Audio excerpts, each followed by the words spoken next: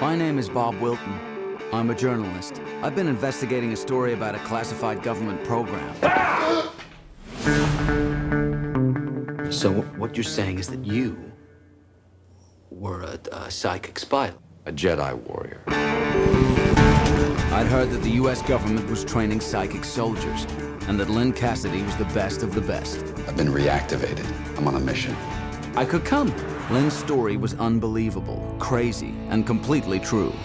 We have to dream a new America that no longer has an exploitative view of everyone.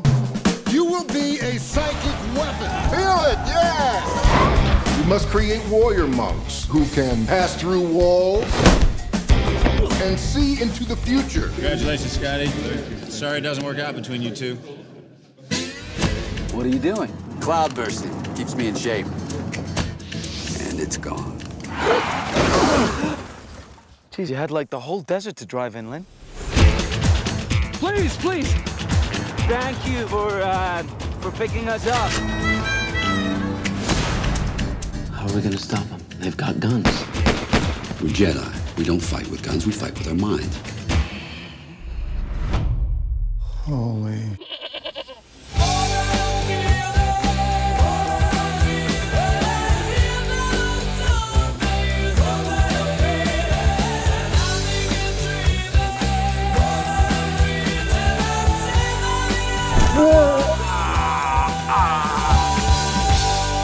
I went looking for a story, and my friend Lyn brought me an adventure.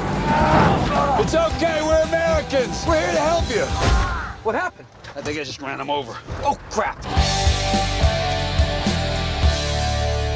Lieutenant Colonel Django used funds from the project's black budget to procure prostitutes That's a lie. and to get drugs for himself and his men. That.